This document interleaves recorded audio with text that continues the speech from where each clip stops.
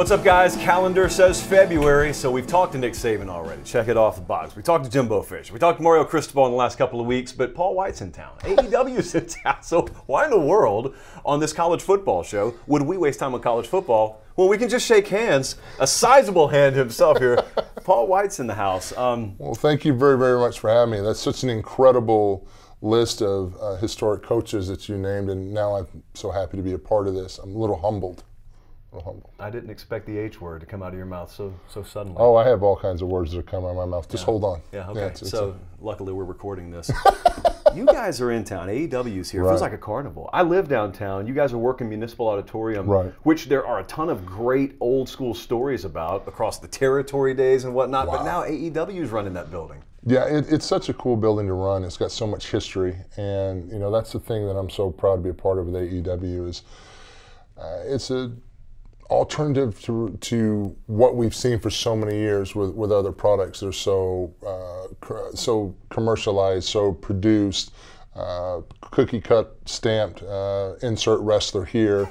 Whereas AEW, it's much more gets back to the roots of, of wrestling, and it's about the talent in the ring, and, and telling the stories in the ring with a lot less soap opera. It's really, really interesting. A lot of terms that were used there that maybe if you just watch college football and you watch the show, he just said produce. Like, well, I use the word produced all the time. What does right. that mean? Well, in the wrestling world, you know, for someone who just broad strokes it, wrestling is wrestling it's not. No. And you just mentioned that there's a version, obviously, up in Connecticut that is very much produced and packaged. Yeah, it's definitely packaged. Just with the graphic packages, and just like you know, when you have your NFL Sunday or college football Saturdays, when they cut to the different graphics in the package, sure they have all that. It's a it's a it's a very well produced product.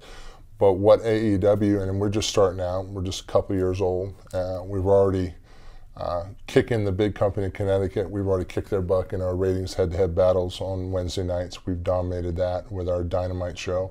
Uh, we're doing very well with Rampage now, so it's growing. But it's an alternative for fans that want to get back to the roots of wrestling, that want to get back to professional wrestling and not sports entertainment. And that's that's the great alternative. And one of the things that attracted me to AEW was that authenticity. Yeah, it's it's interesting because we do a college football show here, and yet in our free time, all we do is talk about wrestling. That's all we do. we will go on. well, it's funny. You walk into a wrestling locker room, all they're talking about is football. So there you go. So it's a natural marriage. But I remember, you know, when I first got hooked, I'm like the classic prototype okay. for the 18 to 49 male that got hooked in the late 90s. Right. And so I pretty much have watched your entire career. Thanks. When you got big, figuratively, of course, Figurative, yeah. is when I would have come to the TV. Pretty much at birth, I, my mom exploded. But oh, you mean when I got on Which TV? I want to come back to because that whole story is fascinating. but like, I remember one of the hallmarks back in uh, late 90s, early 2000s wrestling even would be if I turned the TV on and I would watch a guy going, occasionally he'd trip over a sentence, occasionally he'd repeat himself. And what that said to someone who expected a soap opera is, oh, he screwed up. What it said to me is, wow, that's not scripted. He's just kind of saying whatever he wants to say. And uh, Paul, I don't turn the TV on and see that a whole lot anymore in certain places. How has that changed? Well, it's changed a lot. Like, well, where I came from for so many years, um, there was a staff of 25 or 30 writers backstage.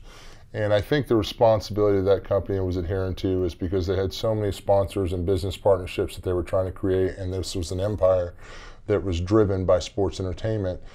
And they had a structured way of they where they wanted promos done. They wanted certain characters to say certain things in a certain way. So it was very uh, soap opera produced. Whereas in AEW, uh, if you have a promo, you have a promo.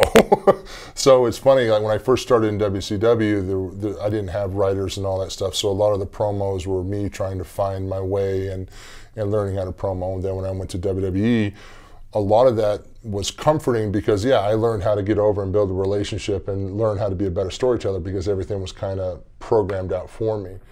But now that I'm older and a lot experienced, seasoned, yeah. I think is a good word. Seasoned. Yeah. Can we use seasoned? Seasoned citizen, if you will. yeah. Seasoned sounds good. Um, I really like the old school approach of letting the talent just identify themselves and make that connection with the audience because that's what is important is making that connection with the audience. If you watch AEW and you see our current top bad guy or heel, as we call him our business with, with MJF, he's amazing. You know, and here's a kid that he has that innate old school ability to make you just loathe him and hate him, and uh, that kind of character and that kind of authenticity really comes through in our product. You are one of still a very, very small group of people who can honestly say, I've worked with Vince McMahon, I've worked with Tony Khan. Yeah. And so I know you I've worked get, with Bischoff, I've Yeah. worked with Vince, and, and now I get the opportunity to work with Tony. I- I've had a crazy career. I started in 95, and I pretty much, in the past four decades, have wrestled and competed with, worked with everyone that's ever been anyone in this industry. From guys that, that really put wrestling on the map in the 80s with Hogan and Savage and, and Ric Flair and Arn Anderson and Sting and all those incredible talents, Ricky the Dragon Steamboat, uh, all these incredible legends that I grew up watching. Then in the 90s, you know, I got to work with you know, Goldberg and, and all the talents in WCW, Kevin Nash and Scott Hall, and then go to WWE and the whole run from Stone Cold to The Rock to Mick Foley to all those guys. Those were guys, you know, that I got to learn from. Undertaker, who was a huge influence in my career for a long time. Um, to work with a crop of talent that we have now, that's incredible talent from, you know, Hangman Adam Page, and, and you've got um, Jon Moxley and, and Bryan Danielson. Um, just it's so incredible to see the scope of talent that I've been fortunate enough to work with. I've always wondered when you look at a, a wrestling locker room Right, versus, let's say, a football locker room. right. You got individual goals, you got collective goals. right. Do you view the wrestling business as an individual sport or a team sport? Um, that's great, great question. Actually, it's interesting because as individual as it is, because it's your responsibility to go out there and present a character that basically, bottom line, uh, makes a connection with the audience and puts butts in seats. That's your goal. You are selling yourself as a as an athlete, as an entertainer, as a, as as someone that someone sees your name on the card, they want to buy a ticket and watch you. So it's very individual that way. But at the same time, the entire scope of the card of everyone on that card is designed for something for everyone. So there's a real team energy on how do we do on ratings? How do we do on selling tickets for the house? Like, how are our fans uh, happy with the product that we're putting out? Because we're very uh, engaged socially with our fans to try to keep that product fresh and new and, and keep them guessing and keep them excited excited so that they turn in tune in every week. But though it's an individual sport, it is very much a good synergy team sport because everybody, you know, there's a real famous guy named Dwayne Johnson who say know your role. And that comes from a locker room thing that everyone does have a role in the locker room. Not everybody is going to be, you know, the top star like CM Punk. Not everybody's going to be that guy. You know, so you need to find out where you are, where you are going, and hopefully one day become that guy but work towards being that top guy, but filling in in between and making the entire show better. That makes any sense. I know it was long-winded, Oh, but it was great. but it was a, too. yeah, but it's a great question because it's frustrating for a lot of younger talent because a lot of younger talent come right out of wrestling school and say, "I want to be the next CM Punk" or "I want to be the next John Cena." Well, hold on. You're talking out of all the billions of people on this planet in wrestling, out of the different companies that have wrestling on TV, you maybe have what, a little over 120, 130 people a week that people see every week on TV. It's a real small percentage. Now, out of that small percentage, there's even a smaller percentage that achieve that superstar level that guys like Rock and Stone Cold and, and John Cena and CM Punk and all those guys have have achieved. So set your goals, but also be realistic. Are- Are you here to make a career for a 20 year career, or are you here to flash and burn out in three or four years? So, What's you know, What's amazing too, I don't think a lot of people are familiar with like the pay structure. I, I just don't think a lot of people are familiar with, and I know that's changed even in your industry. But could you could you go back like go back late '90s, or you came in the WW at that time F at an incredible time. Right. Uh, that anniversary just passed very recently. But yeah, Valentine's Day Massacre, yeah. At, at what is now a Bass Pro Shop. Right, there you go. But could you look at your paycheck back then and see that because Steve Austin is doing what he's doing, there's Yes. a bigger number on my paycheck. Yes. And it's in my best interest for that guy to fly as high as he can too. Prime prime example. My first year in WWF, um, I worked very few main events, a couple here and there. I worked mostly, uh, I want to say mid card matches. Um, Uh, nothing at the top guy level. But you know, in wrestling, if you're lucky, you have a contract, you have a guaranteed contract, but you start off in the hole. So the way pay structure is done, you start off in the and then you work as many times as you can to build that up, and then eventually, once you work past that guarantee, then extra stuff comes in. Hard to explain, but that's just that was the system back then.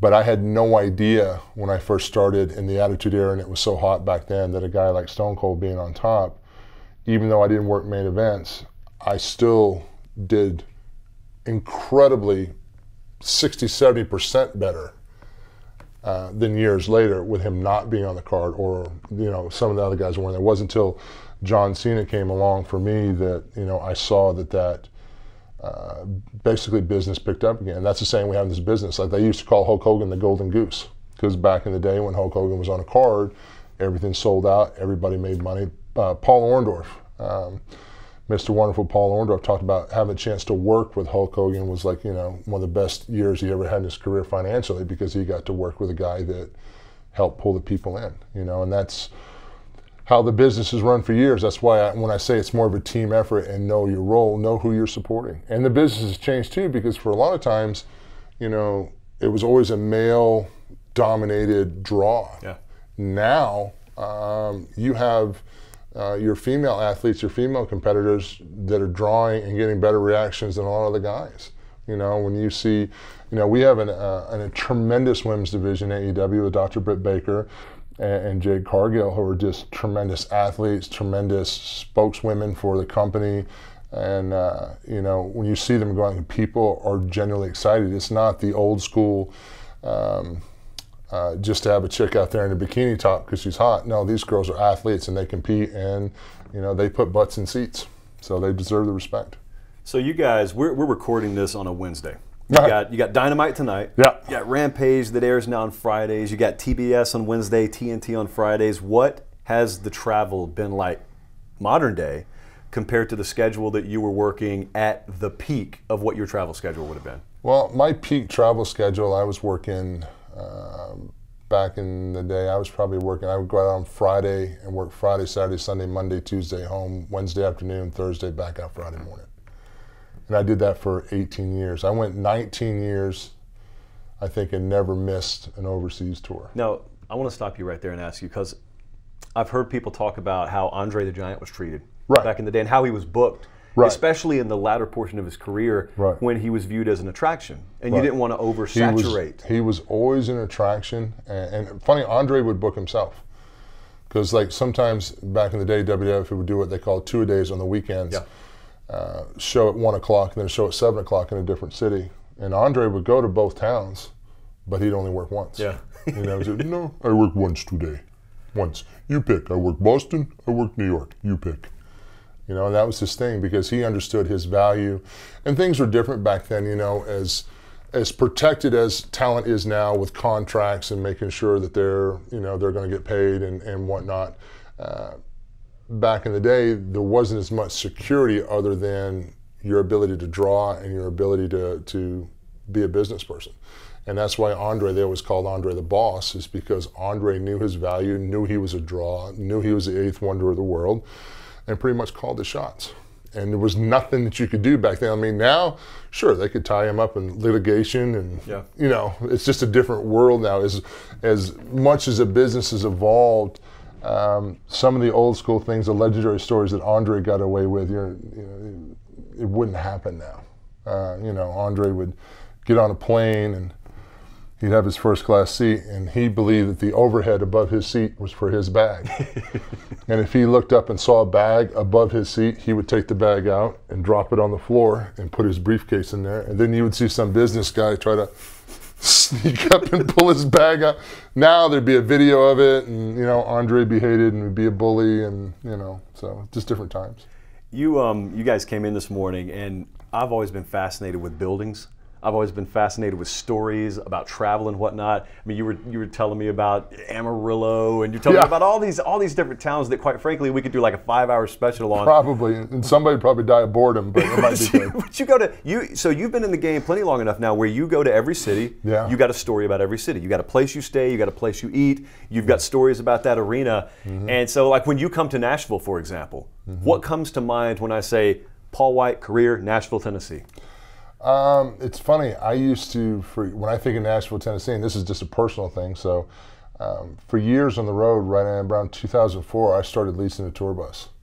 So for years, I leased a tour bus from uh, Music City Coach um, here in uh, in Nashville, and then I ended up going over to, to All Access Coach. So I had my own tour bus on the road because it made more sense for me traveling because we were on the road so much and so many days, and usually every you would wrestle in one city, and then 250 miles later be in another city, and you would you would work a loop. For me, folding up in a rental car every night for you know four or five hours, or trying to find a hotel with a big enough shower, a big enough bed, and I ended up doing the rock star thing or the country music singer thing. I got my own tour bus, I had my own dressing room, my clothes. All I had to go through the airports was my wallet. I didn't have to carry a bag, and that made life. I think that extended my career, and it was an investment in myself. You know, when I first started doing it, a lot of the guys gave me a lot of crap, like, you know, I was trying to be a big baller. Then after they saw the um, benefits, they put the thumb up they said, They- can i ride along well, they, they got their own buses. Yeah. I remember I remember having the first bus in WWE. Then all of a sudden, like you know, there was like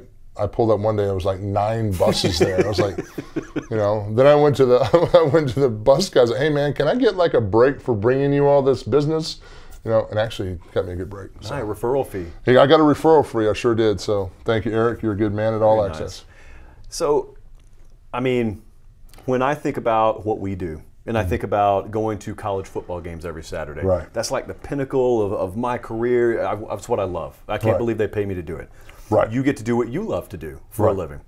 I was talking with some of the guys before you and I walked in the studio about what this device, what a cell phone has done to both of those live experiences Mm-hmm. and what it would have been like even just 15 years ago when no one was worried about taking a picture on a phone or taking video on a phone versus what it's like when you watch a live event now and someone's music hits and everyone's phone goes up. Yeah. I'm really interested from your perspective in the ring.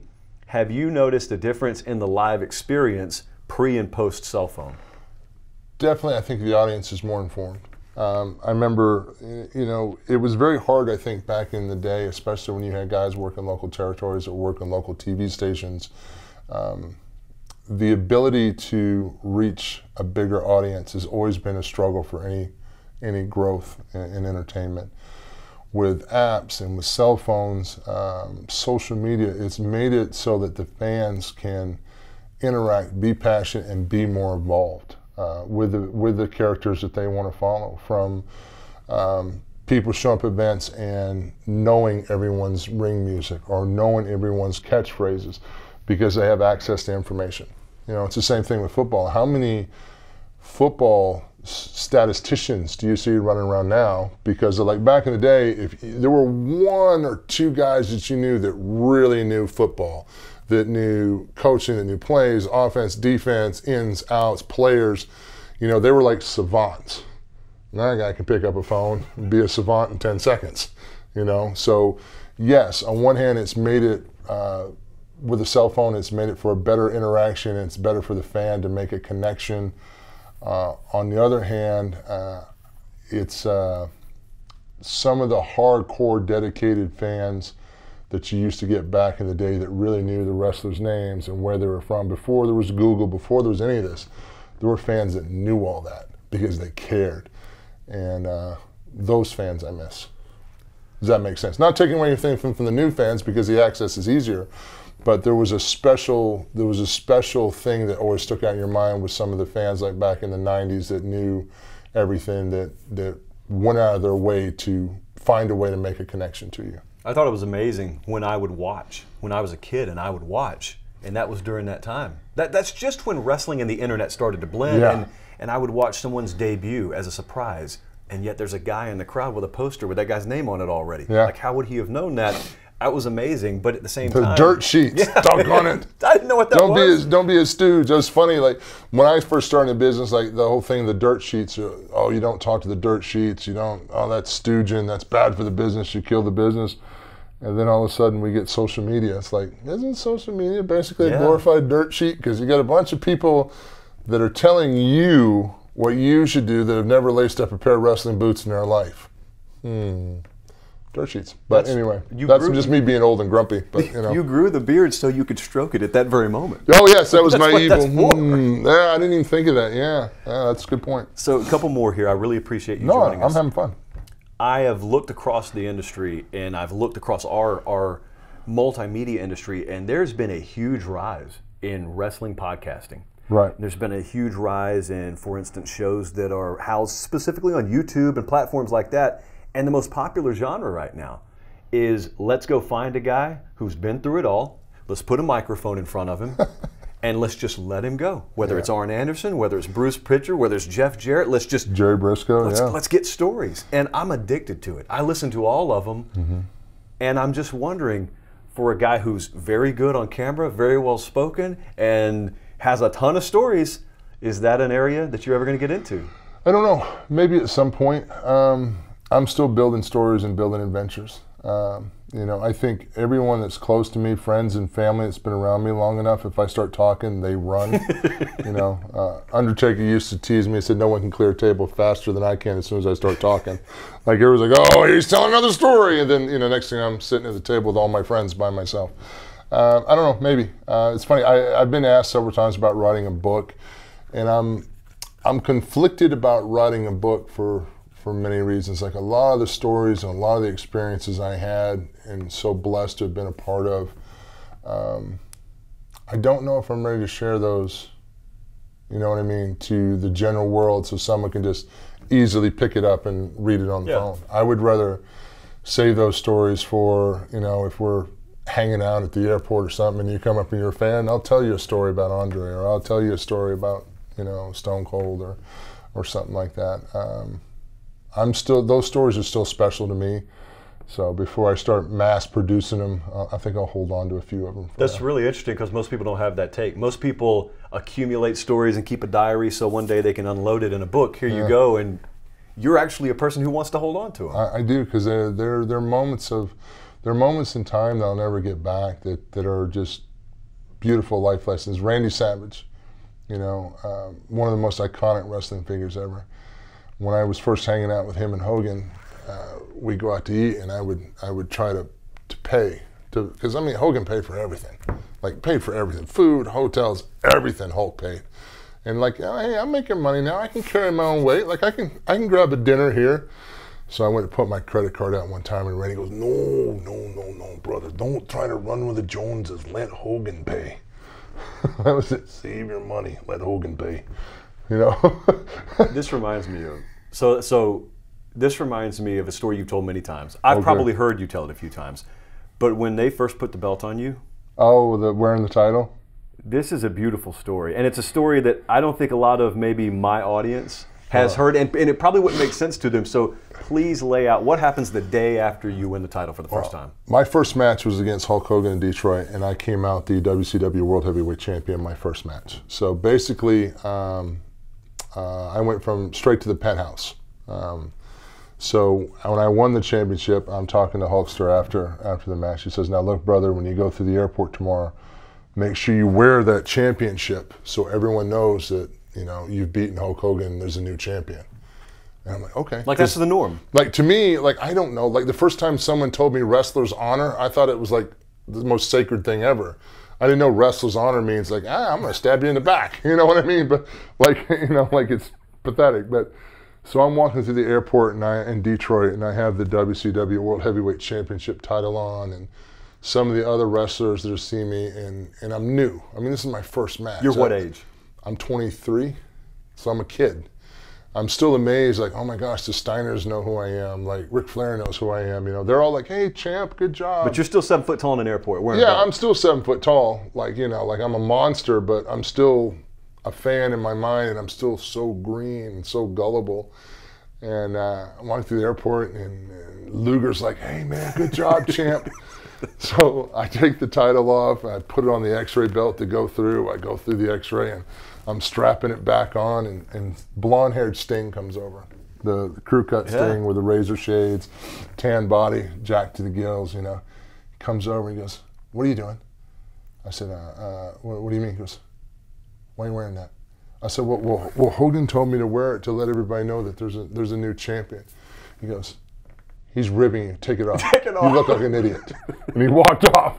But I was like, oh, they were playing a joke on me. Like so, it's like uh, it, it was fun for a lot of the older guys to do that when I was young. It's like you know, football. It's, it's kind of like hazing or paying your dues or you know that kind of thing. But it was one of the best ribs for me because I was so innocent. I just wore this title proud as a peacock. And now that I'm older, I get the joke. It's funny. Like, this kid's so damn green, he's still a fan. You know what I mean? He doesn't realize it's a business. So there you go. I just want to see it, man. I wish surveillance footage existed. Oh yeah. I, Well, I you- would just love. So if Sting doesn't show up, theoretically, how long into that day I'd could have wore it all the way back to Tampa, Yeah. I live. I'd have worn it on the plane, like, yeah, hey, I'm the new champ. Yeah, here, here it is. Yeah, I'm the champ.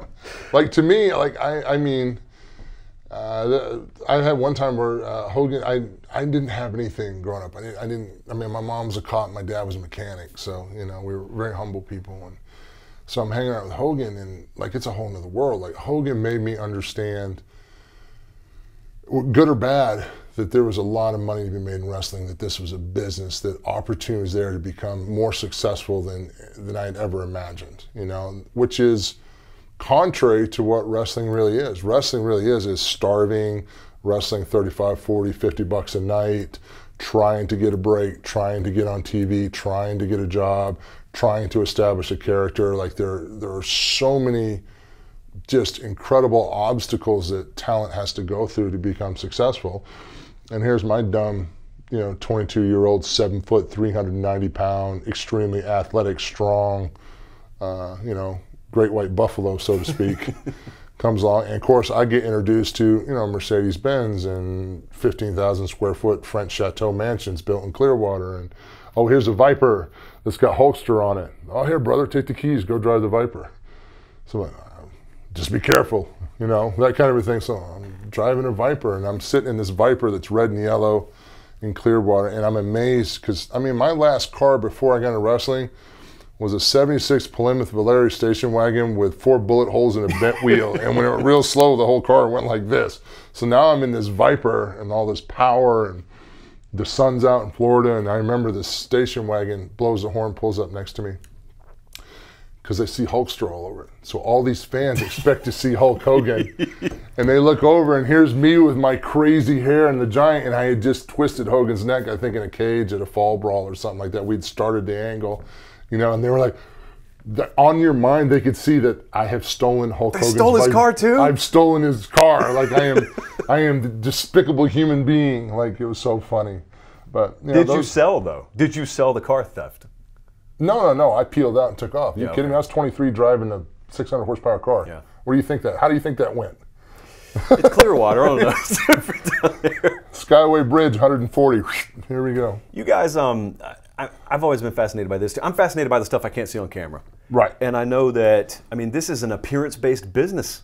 It, it- back in the day, even more so than today, I would argue. Everyone had a certain look that they wanted a guy to have, which requires you to be in the gym a whole heck of a lot. Yeah, And yet you're in another city every other day too. Like how how hard is it? How much of a challenge is it? Not to get yourself motivated, just to go through the travel, get in a new city, find a gym, find the directions over there, get to the arena. So much easier now. And then you, you'll talk about guys that, and there's a term in our business guys that are called great wheelmen, guys that, that are great behind the wheel. Like the best wheel guy that I ever rode with was Billy Gunn. He, without, before GPSs, because like when I stopped using buses and my travel slowed down a little bit, I would still have to drive, but they're bigger SUVs. And but my way of doing things was I had a map, you know, I had a ruler, and I would look at the map and plot out, you know, where I wanted to go. I would put the trip in my head by looking at a map and then follow the signs on the friggin' road. You know, that's that was my GPS. It actually happened once upon a time. Yeah. Yeah, that's what we did. We didn't have a little thing and follow the, the blue line and turn at the wrong place.